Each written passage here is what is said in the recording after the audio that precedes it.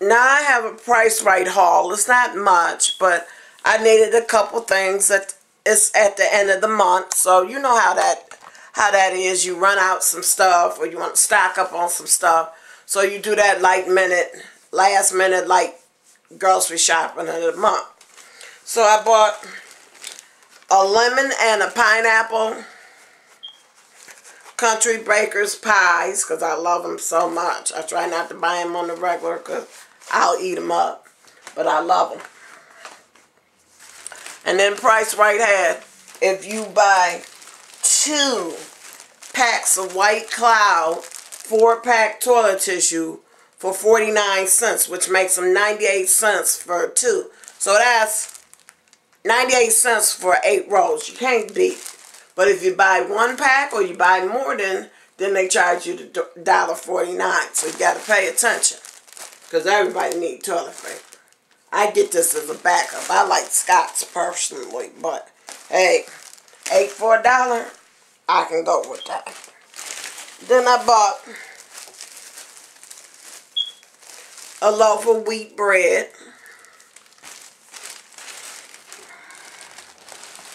Some canola oil, because you know how it is when you run out of cooking grease.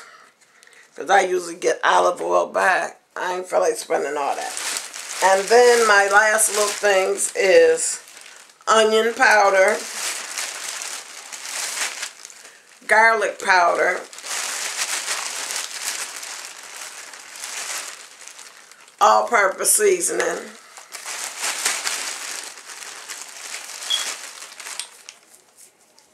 and my favorite steak seasoning. I like to buy multitudes of seasonings because I mix my seasonings together with some adobo and some sazon, some black pepper, and some turmeric. Turmeric. Just got to have that turmeric. I'm older now, and I got all that arthritis, and that turmeric helps. But I like to mix it in with my other seasonings, onion, you know, the little onion bits and all that. I like to mix it in with all my seasonings. So therefore, whenever I season whatever, everything is there. I got it all, and I need it. So, thumbs up if you like this video. Thumbs down if you don't. And why? Hit that subscribe button. I appreciate you all. I love you all.